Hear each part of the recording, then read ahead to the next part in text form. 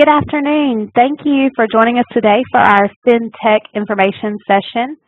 Before we get started, let me quickly introduce myself. My name is Angela Jenkins, and I'm the Curriculum Analyst for USG eCampus. Also with us today is Dr. Kevin Floyd from Middle Georgia State University School of Information Technology. A couple of quick housekeeping things. Um, you'll notice there is a Q&A feature on your screen. If you can hear me okay, we would appreciate it if you could just drop a comment there and let us know, and we can work with anyone who is having trouble uh, to make sure that everyone can hear the session. Also, you can submit questions at any time during the presentation, and we'll make sure to cover those at the end.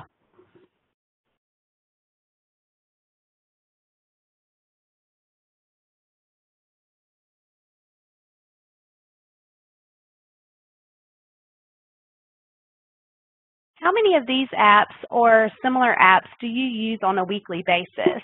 We live in a very fast-paced, technology-driven society, and the way we make payments has changed tremendously in the past few years. I know personally I use several of these apps at least a few times a week, and as consumers, we have the convenience of shopping, paying bills, uh, depositing checks, uh, managing our bank accounts, and even making purchases like ordering coffee directly from our phones. Many of us are guilty of using these apps on a regular basis without giving much thought to the behind-the-scenes pieces that make all of this possible.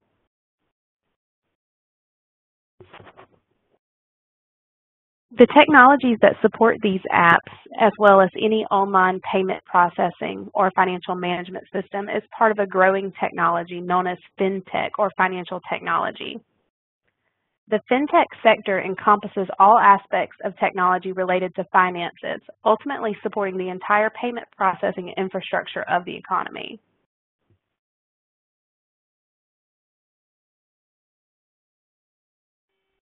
The rapid growth of the financial technology sector may not surprise you based on how we manage money in today's economy.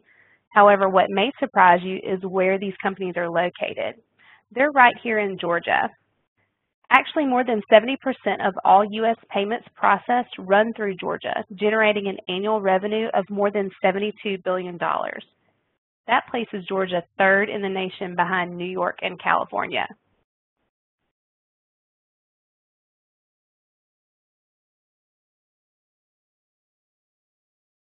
Some of the largest fintech companies in the world are headquartered in Atlanta.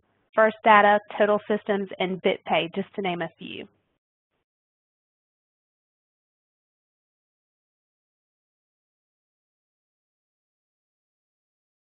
FinTech is one of the five key industry segments identified by the Atlanta Metro Chamber of Commerce, touting an entire ecosystem of FinTech players and strategically attracting even more businesses to the state. There is only one problem.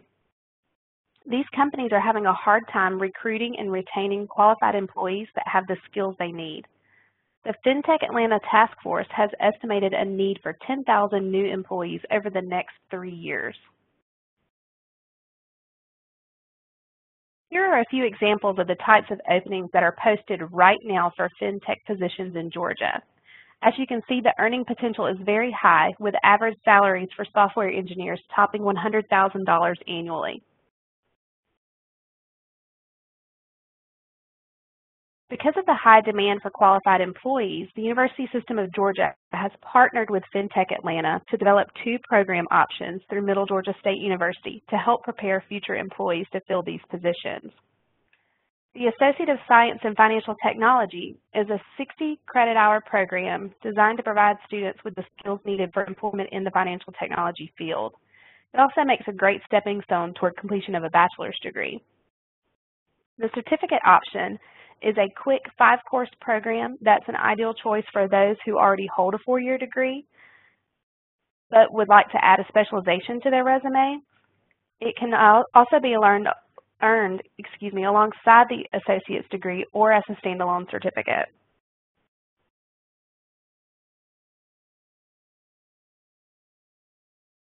The FinTech curriculum was developed with direct input from FinTech talent managers so that we are equipping students with the skills that employers are looking for in these positions.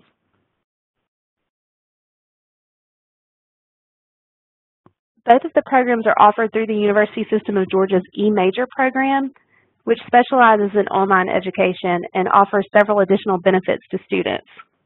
Courses with eMajor are taught entirely online, providing flexibility for students who may have work or family obligations during traditional on-campus time. This means you have the flexibility to log in and out as needed as long as you're following the course schedule.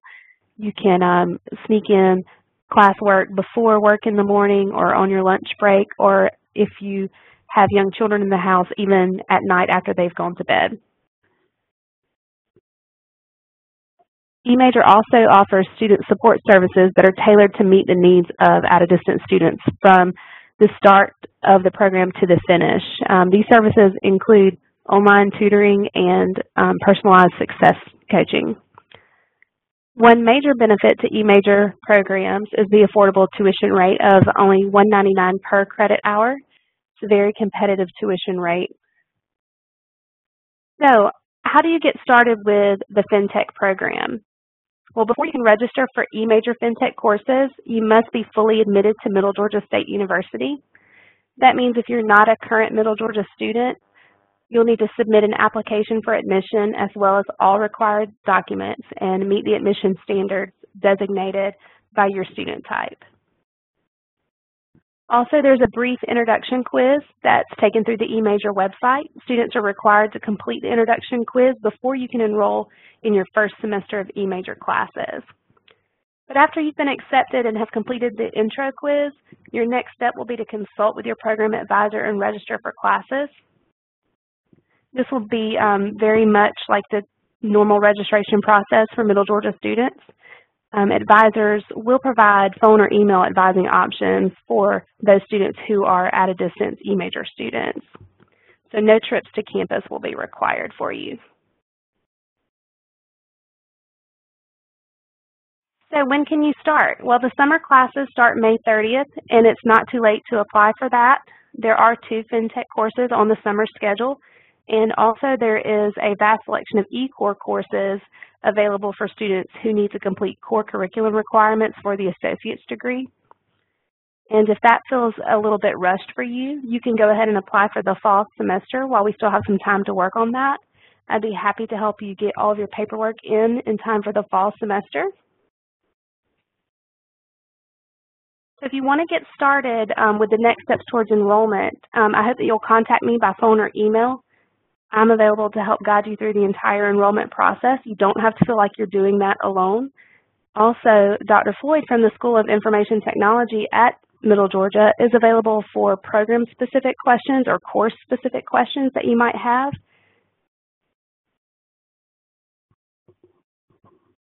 We'll just leave that up a second longer so you can jot down those email addresses.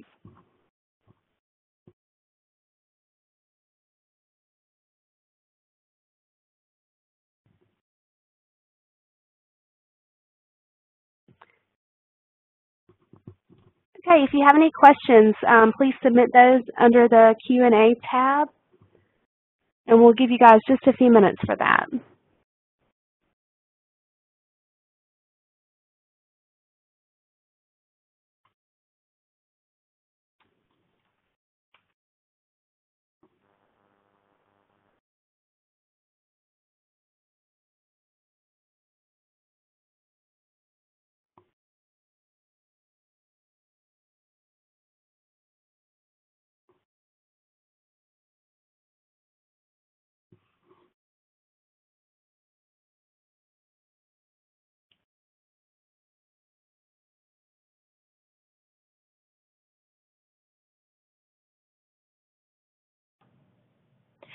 Angela, we have a question from an attendee um, that's asking if students can use financial aid for the associate's degree.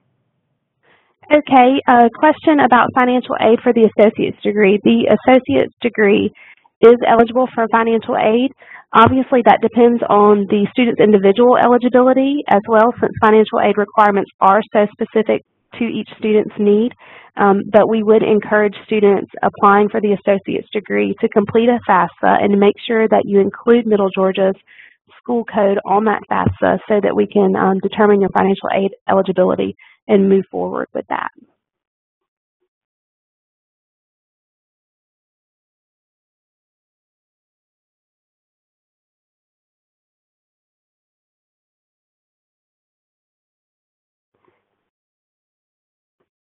Okay, I believe that's all the questions for today, but if you have any follow-up questions, you can email me at ajenkins at westga.edu or Dr. Floyd with your program questions at kevin.floyd at mga.edu. We thank you so much for your participation today, and we are going to follow up with emailing a recording of the presentation once it is finalized, so you'll get that as well. Thank you.